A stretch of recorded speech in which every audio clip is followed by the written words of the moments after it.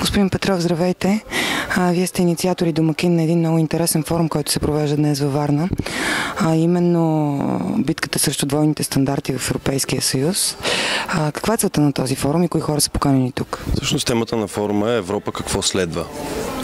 И гостите, които са поканени, са хора предимно политолози, повечето от тях. Аз съм политолог, Мартин Табаков е политолог, Петър Николов, който е заместник министър на образованието, също е политолог.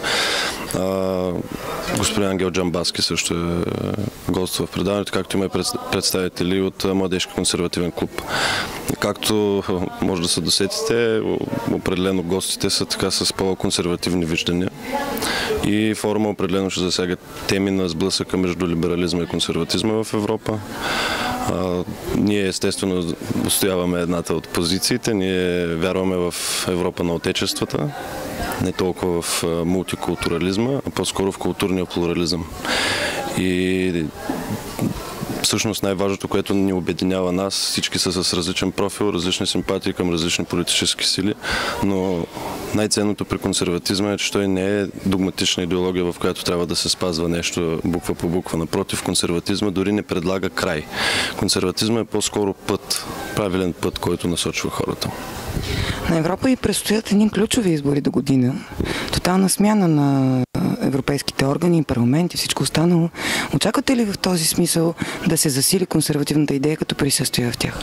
Изключително важно е умерените консерватори да успеят те да спечелят дивиденд от настроенията, които се надигат и да не се позволява на крайни националисти, както ги наричаме. Те повечето случаи не са националисти, но са изключително крайни и по-радикални. Изключително важно е да не ги оставяме тях, те да излекат този дивиденд. А именно умерените консерватори. Къде виждате присъствието на консерватизма и в бъдещия политически сезон в България? Тази тема е изключително специфична, защото аз мое лично мнение, не ангажирам никого с него. Аз не виждам политическа сила, която да мога да разпозная като класическа консервативна, която да се доближава изключително много до, до моите виждания. Но вие виждате и в момента е, в България изключително трудно да се дефинира коя партия е лява, коя е партия е дясна. Не защото няма ляво, няма дясно, както се опитват да ни внушат някои хора. Напротив, ляво и дясно има, винаги ще има, винаги е имало.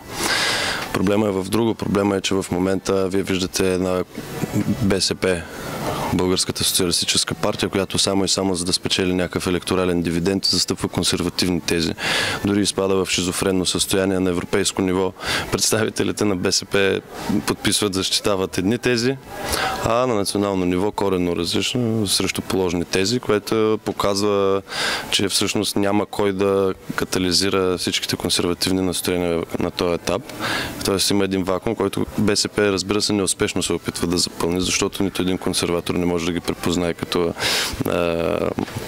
техен, тяхна политическа сила, нито пък Волен Сидоров или Бареков. В този ред на мисли да очакваме ли раждането на нов консервативен политически субект?